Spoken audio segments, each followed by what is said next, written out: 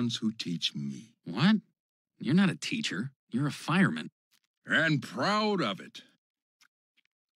Well, I don't know about you, but I'm gonna wait till these white folks go to bed, then dig up that gold.